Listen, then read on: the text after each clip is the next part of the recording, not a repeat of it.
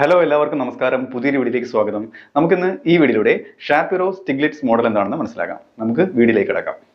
Shapiro Stiglitz model നമുക്ക് ഇതിന്റെ introduction നോക്കാം. The Shapiro Stiglitz model is a foundational economic model ഇതൊരു foundational ആയിട്ടുള്ള അടിസ്ഥാനപരമായിട്ടുള്ള ഒരു എക്കണോമിക് മോഡലാണ് that explains why unemployment exist in labour markets even when there are job seekers willing to work അതായത് labour മാർക്കറ്റിൽ ജോലി ചെയ്യാൻ വില്ലിംഗ് ആയ ആൾക്കാർ മുന്നോട്ട് വരുന്നു എന്നുണ്ടെങ്കിലും അവിടെ അൺഎംപ്ലോയ്മെന്റ് നിലനിൽക്കുന്നു. തൊഴിലില്ലായ്മയുണ്ട്. ആൾക്കാർ അവിടെയാണ് ഇൻവോളണ്ടറി അൺഎംപ്ലോയ്മെന്റ് എന്ന എന്നതിന്റെ പ്രാധാന്യം വരുന്നത് കേട്ടോ. അപ്പോൾ ഇങ്ങനൊരു അവസ്ഥയാണ് ഇത് എക്സ്പ്ലെയിൻ ചെയ്യുന്നത്.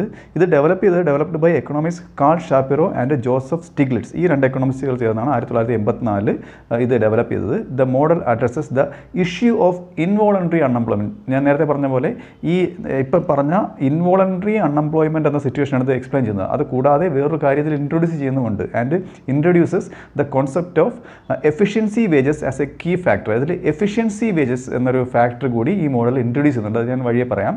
അതാണ് ഇതിലെ കീ ഫാക്ടറായിട്ട് എടുത്തിരിക്കുന്നത്. ഇനി നമുക്ക് ഇതിലെ കീ കോൺസെപ്റ്റ്സ് നോക്കാം. Key concepts in the Shapiro Stiglitz model അതിൽ ആദ്യം തന്നെ എഫിഷ്യൻസി വേജസ് എന്താണെന്ന് നോക്കാം. ഓക്കെ ഇത് പറയുന്നത് the core idea is that employers pay wages higher than the market clearing level അതായത് മാർക്കറ്റ് ക്ലിയറിംഗ് ലെവലിനെക്കാട്ടിലും കൂടിയ ഒരു വേജാണ് എംപ്ലോയേഴ്സ് അതായത് മുതലാളിമാർ തൊഴിലാളിമാർക്ക് കൊടുക്കുന്നത്. ഓക്കെ എന്തിനു വേണ്ടിയാണ്? To incentivise workers to be more productive and to reduce turnover അതായത് ആൾക്കാർ ജോലി സ്ഥലത്ത് നിന്നും പിരിഞ്ഞു പോകാതെ അവിടെ തന്നെ അവരെ പിടിച്ചു നിർത്തുന്നതിന് വേണ്ടിയാണ് ഇങ്ങനെ ഒരു ഉയർന്ന വേതനം അവർക്ക് നൽകുന്നത്. അതാണ് എഫിഷ്യൻസി വേജസ് എന്ന് പറയുന്നത്. അപ്പോൾ അവർ കൂടുതൽ പ്രൊഡക്റ്റീവായിട്ട് കൂടുതൽ ആത്മാർത്ഥത്തോടെ പണിയെടുക്കുകയും ചെയ്യും. അവിടുന്ന് റിസൈൻ ചെയ്ത് പോകത്തുമില്ല. ഓക്കെ അപ്പം ഈ മാർക്കറ്റ് ക്ലിയറിംഗ് ലെവൽ എന്ന് പറയുന്നത് the wage at which labour supply equal equals labour demand അത് ഞാൻ പ്രത്യേകിച്ച് പറയേണ്ട ആവശ്യമില്ലല്ലോ. അതായത് ലേബർ സപ്ലൈയും ഡിമാൻഡും ഈക്വൽ ആവുന്ന ആ വേജാണ് മാർക്കറ്റ് ക്ലിയർ ക്ലിയറിംഗ് ലെവൽ എന്ന് പറയുന്നത്. അടുത്തതിൽ കൂടെ പറയാനുള്ളത് ബൈ പേയിങ് ഹയർ വേജസ് ഇങ്ങനെ പേ ചെയ്യുന്നതുകൊണ്ട് മുതലാളിമാർക്ക് എന്തെങ്കിലും പ്രയോജനം വേണ്ടേ? എംപ്ലോയേഴ്സിന് അപ്പം ഇങ്ങനെ പേ ചെയ്യുമ്പോഴത്തേക്ക് employers motivate workers to put in more effort അതായത് അവരെ കൂടുതൽ എഫേർട്ട് എടുക്കാൻ വേണ്ടിയിട്ട് അവരെ മോട്ടിവേറ്റ് ചെയ്യുകയാണ് ചെയ്യുന്നത്. As losing their job would mean losing a good wage നിങ്ങളിപ്പോൾ ഈ ജോലി നഷ്ടപ്പെടുത്തിയാൽ നിങ്ങൾ നല്ലൊരു വേജാണ് നഷ്ടപ്പെടുന്നത് എന്നൊരു ചിന്ത അവരിൽ ഉണ്ടാക്കിയെടുക്കുന്നു. Not easily replaced by another job offering a lower or similar wage ഇതേ ശമ്പളമോ അതിൽ അല്ലെങ്കിൽ അതിൽ കുറഞ്ഞ ശമ്പളമോ കിട്ടുന്ന മറ്റൊരു ജോലി പെട്ടെന്ന് കണ്ടുപിടിക്കുന്ന അത്ര എളുപ്പമല്ല എന്നുള്ള സന്ദേശം ഇവർ ഇവർക്ക് കൊടുക്കുന്നുണ്ട് തൊഴിലാളിമാർക്ക് കൊടുക്കുന്നുണ്ട്. അടുത്ത കീ പോയിന്റ് ഇതാണ് moral hazard and shirking moral hazard നമുക്കറിയാം ധാർമ്മികമായിട്ടുള്ള ഒരു വീഴ്ച വരുന്നത് അതായത് ഉത്തരവാദിത്തമില്ലായ്മ കാണിക്കുന്നത്. ഷേക്കിംഗ് എന്ന് പറയുന്നത് ഉഴപ്പുന്നത് ഓക്കെ അതിന്റെ എക്സ്പ്ലനേഷൻ വരുന്നത് ഇങ്ങനെയാണ്. The model assumes that workers have an incentive to shirk അതായത് ഒരു ഉഴപ്പാനുള്ള ഒരു പ്രചോദനം വർക്കേഴ്സിൽ എപ്പോഴും ഉണ്ടാവും.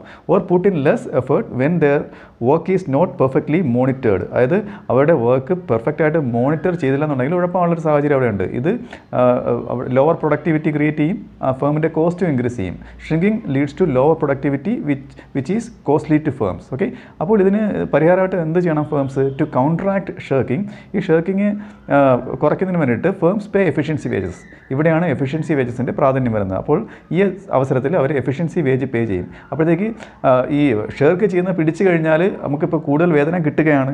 അപ്പം പിടിച്ചു കഴിഞ്ഞാൽ അപ്പം ഇനി പോകണ ജോലിയിൽ? അത്രയും ജോലി കിട്ടി അത്രയും ഉയർന്ന ശമ്പളത്തിലുള്ള ജോലി കിട്ടിയില്ലെങ്കിലോ? എന്നുള്ളൊരു ഭയം അവർക്കുണ്ടാവും. അപ്പോഴത്തേക്ക് അതാണ് പറയുന്നത് making the cost of being caught പിടിക്കപ്പെടാനുള്ള ഒരു ചാൻസ് അവിടെ വരുന്നുണ്ട്.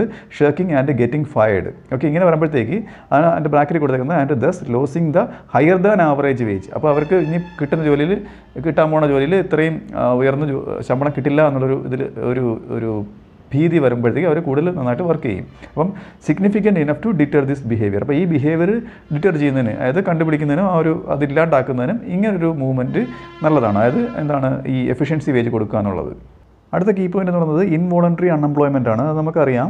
തൊഴിൽ ചെയ്യാൻ സന്നദ്ധരായി ആയിരുന്നാലും തൊഴിൽ കിട്ടാത്തൊരവസ്ഥ. ഓക്കെ ഇതിൽ പറയുന്നത് ഈ മോഡൽ പറയുന്നത് the model predicts that there will always be some level of unemployment in the economy അതായത് എപ്പോഴും എക്കോണമിയിൽ എന്താ ഒരു സം ഒരു ചെറിയ അളവിൽ അൺഎംപ്ലോയ്മെന്റ് ഉണ്ടാവും. ഓക്കെ ഇത് മോ ഈ മോഡലായിട്ട് കണക്ട് ചെയ്യുന്നത് എങ്ങനെയാണ്? ദിസ് അൺഎംപ്ലോയ്മെന്റ് ഈസ് ഇൻവോളണ്ടറി ഈ അൺഎംപ്ലോയ്മെന്റ് വെച്ചാൽ ഇൻവോളണ്ടറി അൺഎംപ്ലോയ്മെന്റ് ആണ് എന്നാണ് ഈ മോഡലിൽ പറയുന്നത്. Okay meaning that there are workers who are willing to work at the prevailing wage but cannot find any job അതാണ് ഇപ്പോൾ പറഞ്ഞ ഡെഫിനേഷൻ അവർ വില്ലിംഗ് ആണ് എന്നാൽ പിന്നെ ജോലി കിട്ടുന്നില്ല. ഇങ്ങനെ പറയുമ്പോഴത്തേക്ക് ഈ അൺഎംപ്ലോയ്മെന്റ് എന്നുള്ള ഈ സിറ്റുവേഷൻ ഒരു ഡിറ്ററന്റ് ആണ്. ഒരു ഇതിനെ പ്രതിരോധിക്കാനുള്ള ഒരു ആയുധമാണ്. ഇതിനെ പ്രതിരോധിക്കാനുള്ള? ഈ ഈ ഷേക്കിങ്ങിനെ ഈ ഇവർ ഉഴപ്പുന്നവരെ പ്രതിരോധിക്കാനുള്ള ഒരു ആയുധമാണ്. അതെങ്ങനെയാണ് ആയുധമായിട്ട് വരുന്നത്?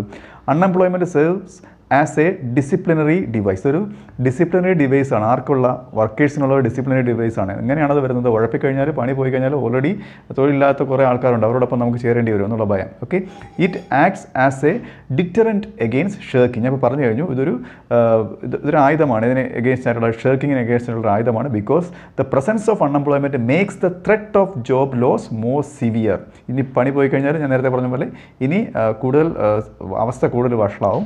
അതുകൊണ്ട് മര്യാദയ്ക്ക് പണിയെടുക്കാം എന്നവർ തീരുമാനിക്കും. അപ്പം unemployed workers face the possibility of not finding another job quickly okay പിന്നീട് അവർക്ക് പെട്ടെന്ന് മറ്റൊരു ജോബ് കണ്ടുപിടിക്കാനുള്ള സാധ്യത കുറവാണ്. അതുകൊണ്ടാണ് ഇതിങ്ങനെ ഒരു ഇതൊരു ആയുധമായിട്ട് വരുന്നത്. അടുത്ത കീ പോയിന്റ് എന്ന് പറയുന്നത് നോ ഷേക്കിംഗ് കണ്ടീഷനാണ് എൻ എസ് സി എന്ന് ഇത് ചുരുക്കി പറയും. ഇത് ഞാൻ ഇത് ഓർത്ത് വെച്ചേക്കണം. ഡയഗ്രം കാണിക്കുമ്പോൾ ഞാൻ അത് റിപ്പീറ്റ് ചെയ്യും കേട്ടോ. അതായത് ഒരു കർവ് എൻ എസ് സിയുടെ ഒരു കർവ് ഡയഗ്രത്തിൽ വരുന്നുണ്ട്. The model introduces the no shirking condition okay which is the condition under which a worker chooses not to shirk അതായത് എന്താണ് ഉഴപ്പാതെ പണിയെടുക്കാനുള്ള ഒരു കണ്ടീഷൻ ഇതിൽ പറയുന്നുണ്ട് okay mathematically the N S C N S C N S C എന്ന് പറയല്ലോ കേട്ടോ. N S C is derived from the comparison between the utility of shirking and the utility of working അതായത് utility of shirking അതായത് പണി എടുക്കാതിരിക്കുമ്പോൾ ഉഴപ്പുമ്പോൾ കിട്ടുന്ന യൂട്ടിലിറ്റിയും work ചെയ്യുമ്പോൾ കിട്ടുന്ന utility ഉണ്ടല്ലോ. യൂട്ടിലിറ്റി വെച്ചാൽ നമുക്കറിയാം ഉപയുക്തത അവർക്ക് കിട്ടുന്ന പ്രയോജനം. ഇത് തമ്മിലുള്ള ഒരു കമ്പാരിസൺ ആണ് ഇതിൽ വരുന്നത്. ഓക്കെ അപ്പോൾ അവർ കമ്പയർ ചെയ്ത് നോക്കുമ്പോഴത്തേക്ക് പണി എടുക്കുന്നതിനാണ് നല്ലത്. മനസ്സിലായില്ലേ? അവർ കൂടുതൽ ശമ്പളം കിട്ടുകയല്ലേ? അതാണ് ഇതിന്റെ അവസ്ഥ എന്ന് പറയുന്നത്. അപ്പം യൂട്ടിലിറ്റി ഓഫ് ഷേക്കിംഗ് എന്ന് പറയുന്നത് which involve some risk of being caught and fired അതാണ് യൂട്ടിലിറ്റി ഓഫ് ഷേക്കിംഗ് മടി കാണിച്ചു കഴിഞ്ഞാൽ പിടിക്കപ്പെടാനും ജോലിയിൽ നിന്ന് പിരിച്ചുവിടാനുള്ള സാധ്യതയുണ്ട്. എന്നാൽ യൂട്ടിലിറ്റി ഓഫ് വർക്കിംഗ് എന്ന് പറയുന്നത് which secures the efficiency wage നല്ല രീതിയിൽ ജോലി എടു- എടുത്തു കഴിഞ്ഞാൽ നല്ല എഫിഷ്യൻസി വേജ് മേടിച്ച് നമുക്ക് സുഖമായിട്ട് ജീവിക്കാം. ഓക്കെ ഇതാണ് ഇതിൽ വരുന്നത്. നോ ഷേക്കിംഗ് കണ്ടീഷൻ ഇനി നമുക്ക് ഈ മോഡൽ എങ്ങനെയാണ് വർക്ക് ചെയ്യുന്നത് നോക്കാം. ഹൗ ദ മോഡൽ വർക്ക്സ് ഇതെല്ലാം ഞാൻ ഡയഗ്രം കാണിക്കാൻ പറയാം. എന്നാലും ഞാൻ ഒരു എക്സ്പ്ലനേഷൻ ആയിട്ട് പറയുന്നേ ഉള്ളൂ. അപ്പം അതിലൊന്നാമത്തത് വേജ് സെറ്റിംഗ് ആണ്. നമുക്കറിയാം firms set the wage rate above the market clearing level to discourage shirking അതായത് ഷേർക്കിംഗ് ഇല്ലാണ്ടാക്കുന്നതിന് വേണ്ടിയിട്ട് മാടി അതായത് ഉഴപ്പില്ലാണ്ടാക്കുന്നതിന് വേണ്ടിയിട്ട് ഉയർന്നൊരു വേതനം കൊടുക്കുന്നു എന്ന് നിങ്ങൾ മനസ്സിൽ വെച്ചാൽ അതായത് മാർക്കറ്റ് ക്ലിയറിംഗ് ലെവലിന് എബവ് ആയിട്ടാണ് ആ, പിന്നെ എന്താണ് പിന്നെ മുതലാളിമാർ തൊഴിലാളിമാർക്ക് വേജ് കൊടുക്കുന്നത്. അപ്പം ഈ ഹയർ വേജ് ഇപ്പോൾ ഉയർന്ന വേതനം കൊടുക്കുമ്പോഴത്തേക്ക് ഹയർ വേജ് കോമ്പൻസേറ്റ് ചെയ്യുന്നു. എന്തിനെ കോമ്പൻസേറ്റ് ചെയ്യുന്നു. Workers for the risk of being caught അതായത് പിടിക്കപ്പെടാനുള്ള ആ ഒരു സാധ്യത ആ ഒരു റിസ്കിനെ കോമ്പൻസേറ്റ് ചെയ്തിട്ട് എന്ത് കാണിച്ചിട്ട് ഷേർക്ക് ചെയ്തുകൊണ്ട് അതായത് ഉഴപ്പി പിടിക്കപ്പെടാനുള്ള സാധ്യത കോമ്പൻസേറ്റ് ചെയ്യുകയും and the consequent loss of their job അതായത് ഈ ഇങ്ങനെ പിടിക്കപ്പെട്ട് ജോലി നഷ്ടപ്പെടുവാനുള്ള സാധ്യതയില്ലേ. ഇതൊക്കെ ഇല്ലാണ്ടാക്കുന്നതിന് വേണ്ടിയിട്ടാണ് ഇതൊക്കെ മാറ്റുന്നതിന് വേണ്ടിയിട്ടാണ് എന്ത് ചെയ്യുന്നത്? ഇവർ ഉയർന്ന വേതനം കൊടുക്കുന്നത്. അടുത്തെന്ന് പറയുന്നത് അൺഎംപ്ലോയ്മെന്റ് ഇക്ലിബ്രിയമാണ് അതായത് ഇക്ലിബ്രിയത്തിൽ in equilibrium not all workers can be employed at the higher wage ആ ഇക്ലിബ്രിയം പോയിന്റിൽ എല്ലാ വർക്കേഴ്സിനും ഉയർന്ന വേജ വേതനം കൊടുത്ത് അവിടെ അവരെ പണി ചെയ്യിപ്പിക്കാൻ പറ്റത്തില്ല. കാര്യം എന്താണ്? ഇഫ് ദേ വെയർ അങ്ങനെ എല്ലാവർക്കും ഉയർന്ന വേതനം കൊടുത്തു കഴിഞ്ഞാൽ the incentive to shirk would increase അതായത് എല്ലാവർക്കും ഉയർന്ന വേതനം കൊടുത്തു കഴിഞ്ഞാൽ ഷേർക്ക് ചെയ്യാനുള്ള ഉഴപ്പാനുള്ള ആ ഒരു പ്രചോദനം കൂടി വരത്തേ ഉള്ളൂ. കാര്യം എന്താണ്? ഇവിടെ നിന്ന് ജോലി പോയി കഴിഞ്ഞാലും ഉയർന്ന വേതനത്തിൽ മറ്റൊരു ജോലി തൊഴിലവസരം ഉണ്ട് എന്നുള്ള ചിന്ത. As the probability of finding a new job after being fired would be high അതാണ് ഇങ്ങ- ഇങ്ങനൊരു അവസ്ഥ വരുന്നത്. ഓക്കെ അപ്പോൾ ഇതിനു വേണ്ടി അപ്പോൾ എന്താണ് എഫക്റ്റീവായിട്ട് ചെയ്യേണ്ടത്? Though some unemployment is necessary to maintain the discipline among workers അതായത് ചില അൺഎംപ്ലോയ്മെന്റ് സിറ്റുവേഷൻസിൽ ഈ വർക്കേഴ്സിന്റെ ഡിസിപ്ലിൻ കൂടെ നോക്കണം. എങ്ങനെയാണ് നോക്കുന്നത്? This unemployment is not due to high wages alone അത് നേരത്തെ പിന്നെ ഉയർന്ന ജോലി അടുത്ത തൊട്ടടുത്ത തൊഴിലും ഇടത്തിലും കിട്ടും എന്നുള്ള രീതിയിൽ അവർ ഷെയർക്ക് ചെയ്ത് എന്തായാലും എന്തായതല്ല അവർ തൊഴിലിൽ നിന്ന് പിരിഞ്ഞു പോയതല്ലാതെ alone but is essential essential to maintain work productivity. അവരുടെ പ്രൊഡക്ടിവിറ്റി എത്രമാത്രമുണ്ട് എപ്പോഴാണ് അവരുടെ മോണിറ്റർ ചെയ്യാത്ത സമയങ്ങളിൽ അവർ എത്രത്തോളം പ്രൊഡ്യൂസ് ചെയ്തു. Productivity in the presence of imperfect monitoring. അതായത് പെർഫെക്റ്റ് ആയിട്ട് അവരെ മോണിറ്റർ ചെയ്യാത്തപ്പോഴത്തേക്ക് അവർ നന്നായിട്ട് പ്രൊഡ്യൂസ് ചെയ്തോ എന്നതും കൂടെ കണക്കിലെടുക്കണം ഇനി അടുത്ത തൊഴിലേ തൊഴിലിലേക്ക് പ്രവേശിപ്പിക്കുമ്പോഴത്തേക്ക്. അപ്പോഴത്തേക്ക് ആ പ്രശ്നത്തിന് പരിഹാരമായില്ലേ? ഡയഗ്രത്തിലേക്ക് പോകുന്നതിന് മുമ്പ് ഈ ഡയഗ്രമാറ്റിക് റെപ്രസെന്റേഷന്റെ ഒരു എക്സ്പ്ലനേഷൻ നോക്കാം. In a standard labour market model without efficiency wage അതായത് എഫിഷ്യൻസി വേജ് ഇല്ലാത്തൊരു സ്റ്റാൻഡേർഡ് ലേബർ മാർക്കറ്റ് മോഡൽ ആണെന്നുണ്ടെങ്കിൽ the labour supply and labour demand curves intersect അതായത് ഈ ലേബർ സപ്ലൈയും അതായത് സപ്ലൈ ഓഫ് ലേബറും ഡിമാൻഡ് ഫോർ ലേബറും ഈ രണ്ട് കർവുകൾ ഇന്റർസെക്ട് ചെയ്യുന്നത് അറ്റ് ദ ഇക്ലിബ്രിയം വേജ് അതായത് ഈ ഇക്ലിബ്രിയം വേജിൽ ഇന്റർസെക്ട് ചെയ്യുന്നുണ്ട്. ഇവിടെയാണെന്നുണ്ടെങ്കിൽ ഈ equilibrium വേജിലാണെന്നുണ്ടെങ്കിൽ where all workers willing to work at the wage are employed അതായത് ഈ ഇക്ലിബ്രിയം വേജിൽ നിലവിലുള്ള വേജിൽ എല്ലാ വർക്കേഴ്സും എംപ്ലോയിഡ് ആണ്. ഓക്കെ അവർ കൂടുതൽ വേജ് അവർക്ക് കൊടുക്കുന്നില്ല. എന്നാൽ however in the Shapiro Stiglitz model ഞാൻ ഇപ്പോൾ പറഞ്ഞ model the efficiency wage is set above this equilibrium ഈ ഇക്ലിബ്രിയത്തിന് മുകളിലാണ് അതായത് ഉയർന്നൊരു വേജാണ് ഇവിടെ കൊടുക്കുന്നത്. Okay leading to a surplus of labour അപ്പോഴത്തേക്ക് ഇങ്ങനെ പറയുമ്പോഴത്തേക്ക് ലേബറിന് ഒരു സർപ്ലസ് കിട്ടുന്നു ഒരു മെച്ചം കിട്ടുന്നു. അപ്പം this surplus represent the unemployed workers ഈ സർപ്ലസ് ആണ് ഈ അൺഎംപ്ലോയിഡ് വർക്കേഴ്സിനെ റെപ്രസെന്റ് ചെയ്യുന്നത്. ഓക്കെ ഇനി നമുക്ക് ഡയഗ്രം നോക്കാം. ഇതിൽ വൈ ആക്സിൽ വേജസും എക്സ് ആക്സിൽ എംപ്ലോയ്മെന്റാണ് കൊടുത്തിരിക്കുന്നത്. ഇതിൽ N S C curve upward sloping ആയിട്ട് നിൽക്കുന്നത് കാണാം. അത് നോ ഷേക്കിംഗ് കണ്ടീഷനാണ് ഈ കാണിച്ചിരിക്കുന്നത് എൻ എസ് സി കൊണ്ട് സൂചിപ്പിക്കുന്നത്. അതിൽ ഡൗൺവേർഡ് സ്ലോപ്പിംഗ് ആയിട്ടുള്ള ആ ബ്ലൂ ലൈനുള്ള ബ്ലൂ ലൈനാണ് ആ കർവാണ് ഡിമാൻഡ് എന്ന് പറയുന്നത്. മാർജിനൽ റവന്യൂ പ്രൊഡക്ടിവിറ്റി ഓഫ് ലേബറാണ് ആ കൊടുത്തിരിക്കുന്നത്. ഈ രണ്ട് കർവും കൂടെ ഇന്റർസെക്ട് ചെയ്യുന്നിടത്താണ് ഇവിടെ ഇക്ലിബറിയം വരുന്നത്. ഓക്കെ അതായത് ഈ മോഡലിൽ ഇക്ലിബറിയം വരുന്നത്. അതായത് ഓൾഡ് മോഡലിൽ ഇക്ലിബറിയം വരുന്നത് ആ എൽ എഫ് കർവ് അതായത് വെർട്ടിക്കലായിട്ട് നിൽക്കുന്ന അതായത് വൈ ആക്സിന് പാരലായിട്ട് നിൽക്കുന്ന L F curve L F curve അതായത് ലേബർ ഫോഴ്സ് ആണ് ഉദ്ദേശിക്കുന്നത് കേട്ടോ. അതായത് ലേബർ ഫോഴ്സ് കർവും ഈ ഡിമാൻഡ് കർവോട് ഇന്റർസെക്ട് ചെയ്യുന്നതാണ് ഈ ഓൾഡ് ഇക്ലിബറിയം എന്ന് പറയുന്നത്. എന്നാൽ ഇവിടെ ഈ മോഡലിലെ ഇക്ലിബറിയം വരുന്നത് ഈ എൻ എസ് സി കർവും ഡിമാൻഡ് കർവോട് ഇന്റർസെക്ട് ചെയ്യുന്ന പോയിന്റാണ് അവിടെ E O amount of employment ആണ് അവിടെ ഉണ്ടാകുന്നത്. എന്നാൽ അവിടുത്തെ വേജ് തീരുമാനിക്കുന്നത് ഈ ഡബ്ല്യു ഒ എന്ന് പറയുന്ന എമൗണ്ട് ഓഫ് വേജ് ആണ് ഇവിടെ ഉള്ളത്. ഓക്കെ ഇതിൽ ലേബർ സപ്ലൈ നമുക്ക് ഫിക്സ്ഡ് ആയിട്ട് അതായത് ലേബർ ഫോഴ്സ് ഫിക്സ്ഡ് ആയിട്ട് ഉള്ളതായിട്ട് നമുക്ക് കാണാം. പിന്നെ നമ്മൾ മനസ്സിലാക്കേണ്ടത് ഈ എൽ എഫ് കർവും ഡിമാൻഡ് കർവും കൂടെ ഇന്റർസെക്റ്റ് ചെയ്യുന്ന ആ ഓൾഡ് ഇക്ലിബ്രിയം ത്തിന്റെ മുകളിലായിട്ടാണ്. അതായത് ന്യൂ ഇക്ലിബ്രിയം അപ്പോൾ ഈ പറഞ്ഞ ഷാപ്പിറോ സ്റ്റിഗ്ലിസ് മോഡൽ വരുന്ന ഇക്ലിബ്രിയം എന്ന് പറയുന്നത് നേരത്തെ ഇപ്പോൾ ഉള്ള ഇക്ലിബ്രിയത്തിന്റെ മുകളിലായിട്ടാണ്. ഇവിടെ ഇക്ലിബ്രിയം എടുക്കുന്നത് എൻ എസ് സിയും ഡിമാൻഡ് കർവും ഇന്റർസെക്റ്റ് ചെയ്യുന്ന പോയിന്റാണ് അപ്പോഴത്തേക്ക് അവിടെ അവിടെ വേജ് നോക്കാം.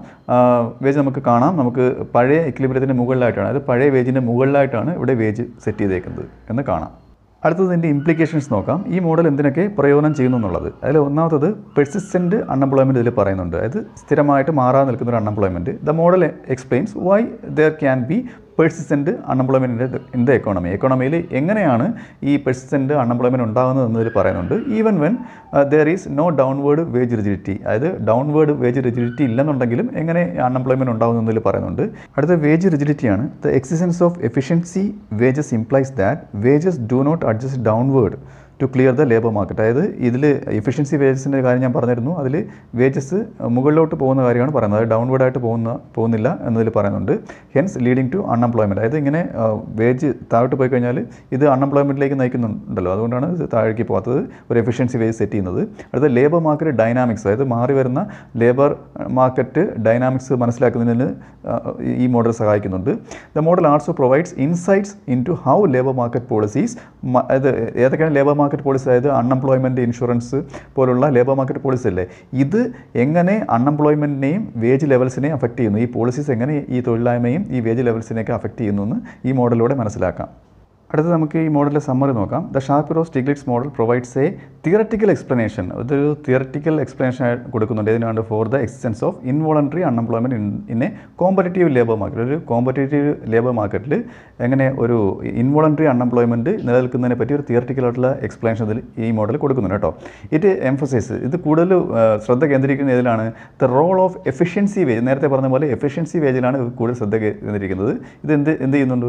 ഈ efficiency wage in മോണി motivating workers and deterring shirking behaviour അതായത് ഈ ഈ വർക്കേഴ്സിനെ മോട്ടിവേറ്റ് ചെയ്ത് അവരെ മടി ഒഴിവാക്കുന്നതിന് വേണ്ടിയുള്ള എഫിഷ്യൻസി വേജ് എങ്ങനെ കൊടുക്കാം എന്ന കാര്യമാണ് ഇതിൽ കൂടുതൽ ഊന്നി പറയുന്നത് കേട്ടോ. അത് എംഫസൈസ് ചെയ്യുന്നത്. അപ്പം വിച്ച് ഇന്റേൺ നെസസിറ്റേറ്റ്സ് അപ്പം ഇങ്ങനെ ഈ ഒരു മോട്ടിവേറ്റിംഗ് ചെയ്യുന്നതിന് വേണ്ടിയിട്ട് ഈ എഫിഷ്യൻസി വേജ് കൊടുക്കുന്നത് എന്തിന്റെ അത് in turn necessitates some level of unemployment to maintain okay അപ്പം അതായത് എന്തിനു വേണ്ടി ഒരു ഒരു അണ്ണം ഒരു ഒരു പരിധിവരെ അൺഎംപ്ലോയ്മെന്റ് ലെവൽ മെയിന്റെയിൻ ചെയ്യുന്നതിന് സഹായിക്കുന്നു. These wage levels and ensure productivity അപ്പം ഈ വേജ് ലെവൽ അതായത് ഈ വേജ് ലെവൽ മെയിന്റെയിൻ ചെയ്ത് കഴിഞ്ഞാൽ ഒരു പരിധിവരെ അൺഎംപ്ലോയ്മെന്റ് കുറയ്ക്കുകയും ഒരു ലേബർ പ്രൊഡക്ടിവിറ്റി ഉറപ്പുവരുത്തുന്നതിനും ഇത് കാരണമാകുന്നു okay this model has had a significant impact on labour എക്കണോമിക്സിൽ ഒരു ഒരു പ്രാധാന്യത്തിനുണ്ട്. Influencing how economics understand understand wage setting അതായത് ഇത് എന്തിനെ ഇൻഫ്ലുവൻസ് ചെയ്യുന്നുണ്ട്? എങ്ങനെയാണ് എക്കണോമിസ്റ്റുകൾ വേജ് സെറ്റിംഗ് മനസ്സിലാക്കുന്നത്? എങ്ങനെ വേജ് സെറ്റ് ചെയ്യാം? എന്ന് എക്കണോമിക്സിന് മനസ്സ് എക്കണോമിസ്റ്റുകൾക്ക് മനസ്സിലാക്കി കൊടുത്തൊരു മോഡലാണിത്. പിന്നെ അൺഎംപ്ലോയ്മെന്റിനെ പറ്റി എക്കണോമിസ്റ്റുകൾക്ക് മനസ്സിലാക്കി കൊടുത്തു. ആൻഡ് ലേബർ മാർക്കറ്റ് ഡൈനാമിക്സിനെ കുറിച്ചൊക്കെ എക്കണോമിസ്റ്റുകൾക്ക് മനസ്സിലാക്കി കൊടുത്ത ഒരു മോഡലാണിത്. അപ്പോൾ ഈ വീഡിയോ നിങ്ങൾക്ക് മനസ്സിലായെന്ന് വിശ്വസിക്കുന്നു. അടുത്ത വീഡിയോയിലൂടെ മറ്റൊരു വിഷയമായി വീണ്ടും കാണാം.